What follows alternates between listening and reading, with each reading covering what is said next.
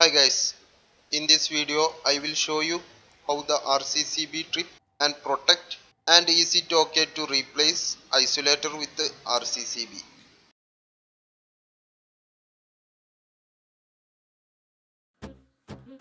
Okay guys, here you can see isolator in the right side and RCCB in the left side. This isolator is burned due to overloading but the RCCB is brand new. I used it in this video. Sorry for the isolator, I think it is enough to explain in this video. RCCB build quality and finish is good, but isolator seems cheap.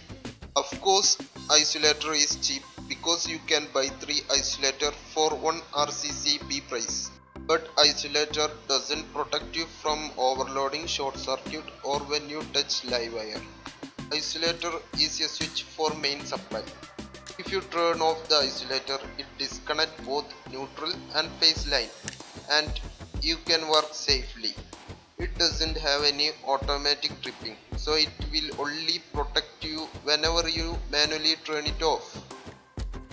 Okay, I think now you got isolator. Now let's move to the RCCB. RCCB stands for Residual Current Circuit Breaker.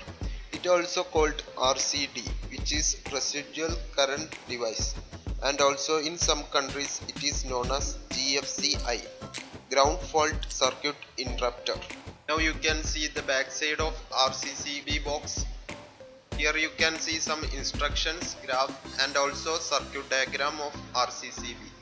In the circuit you can see the both phase and neutral line disconnect whenever we trip off the RCCB or if auto trip. So it is safe like isolator and can replace isolator with RCCB also in the instruction it says we can use it as main switch or isolator. Okay now let's go to the working of RCCB RCCB trip instantly if any imbalance occur in the neutral and phase current.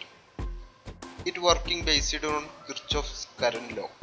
That is incoming current in the circuit must be equal to the outgoing current. You can see the circuit. There is three coils. Primary coil connected phase in and out and secondary coil connected neutral in, in and out. Sensing coil is connected to relay. Now the phase current and neutral current equal then it create equal and opposite magnetic fluxes and whenever current leaks to the ground or the current imbalance then in primary and secondary coils create imbalance magnetic fluxes and produce different current. And it flows through the third coil which is sensing coil and it is connected into the relay and the relay turn on and trip the breaker. RCCB can protect if a person come in contact with live and neutral wire because the RCCB only trip whenever phase and neutral current is different. But if a person only touch the live wire and the current goes through the person into the ground and neutral and phase imbalance occurs then the breaker trip instantly. RCCB can't protect from overloading or short circuit. It only protect the person from electrocution or any type ground fault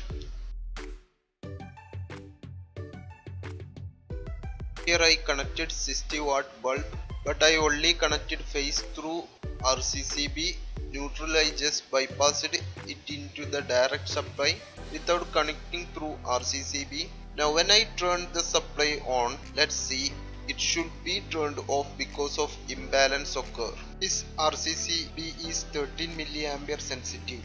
It means that if 13 milliampere or more difference has neutral and phase current then only it trips.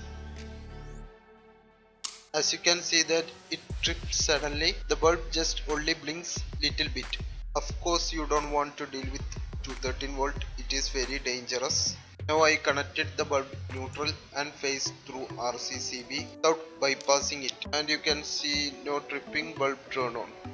Now let's try with this 10 watt charger.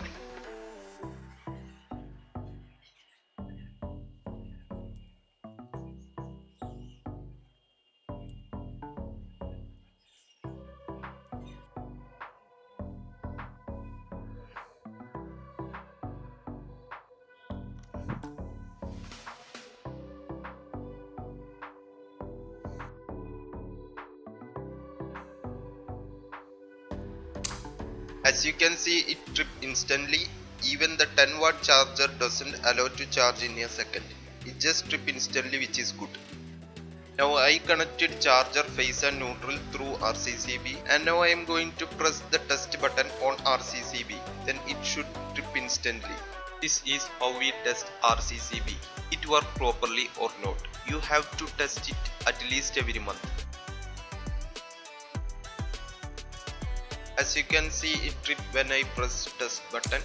It is because when pressing the button phase current bypass without going through primary coil and imbalance occur and trip. You don't want to remove RCCB from distribution board to test it. Just make sure it has input power and should be turned on. It need power to trip. If it doesn't trip but it has input power then you need to replace it.